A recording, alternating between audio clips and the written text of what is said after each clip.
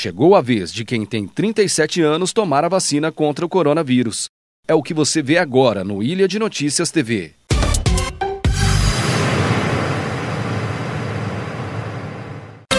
Oferecimento Gol Odonto, a única com tomografia digital em Ilha Solteira. Venha para Gol. A vacinação acontece nos drive-thrus montados pela prefeitura nas unidades de saúde, que funcionam de segunda a sexta-feira até às 14 horas.